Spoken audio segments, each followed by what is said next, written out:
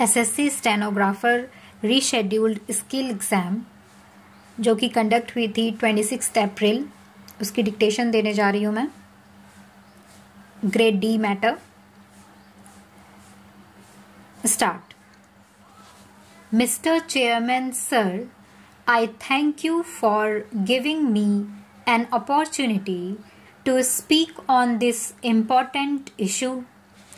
Whenever we discuss the problem of unemployment, we are reminded of the gloom on the faces of crores of youths in the country.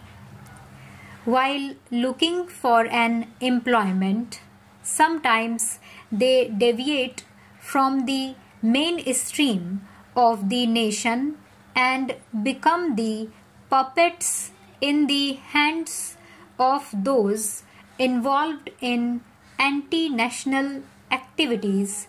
And today, the biggest problem our nation is facing is to bring back those misled youths to the mainstream of the nation in order to use their constructive capabilities in nation building. We should certainly accept the important fact that employment and the ever increasing population are two related things since independence there have been a number of announcements but no effective control has been made on the ever increasing population of the country. You are aware that in our country population growth rate is about 2% per year. The growth in the population is bound to reduce the employment opportunities and when today our country is facing the biggest problem, we often compare our country with China. Today, China has controlled its population and has formulated its policies in tune with its plans and circumstance as a result of which it has not only been able to provide employment to a great extent, but it has also controlled the population explosion effectively. Because of this situation, we see that in the next 50 years, India's population will be four times of the present population while China's will be half of what it is at present. I believe that if a country has to lead on the path of development, it should first of all control its population.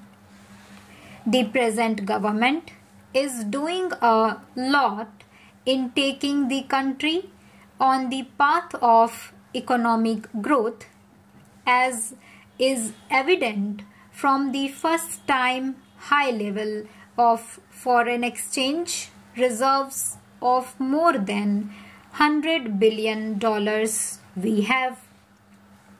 I want to say that there are a lot of employment opportunities in this country. The Honorable Prime Minister and his government have provided employment opportunities to people through various schemes. Even last time when the Honorable Prime Minister gave an assurance of providing employment to 1 crore people, he fulfilled his promise by providing employment opportunities to 1 lakh people in various sectors during the last three years respectively. And these opportunities were generated not merely in the service sector but in the organized and unorganized sectors as well. And I think that no government can generate employment opportunities for 1 crore unemployed youth every year. The government can provide employment avenues and these were provided in the various sectors be it rural development sector or any other sector. For a developing country like India, where more than 75% population is residing in rural areas, no strategy has been formulated for the development of villages. For the first time, this government under Pradhan Mantri Gramin Sadak Yojana has decided to link those villages with Pakka roads. There were schemes for providing agro-rural based employment opportunities but raw material could not be transported to urban areas and no one could generate employment opportunities in the villages. At present, some initiatives have been taken there linking villages with metalled roads. The unemployed rural youths and workers are getting employment in the villages itself. Secondly, it is the first ever effort to bring these villages into the mainstream of development. Drinking water schemes are being launched in the villages. There is an ongoing effort to launch primary health and elementary education schemes in the villages free education has been provided to children up to the age of 14 years. Instead of creating new jobs, employment opportunities are being destroyed by this government during these years instead of providing jobs to 1 crore people each year more than 1 crore jobs have been snatched away, rather destroyed by this government. I know this government cannot reverse a policy.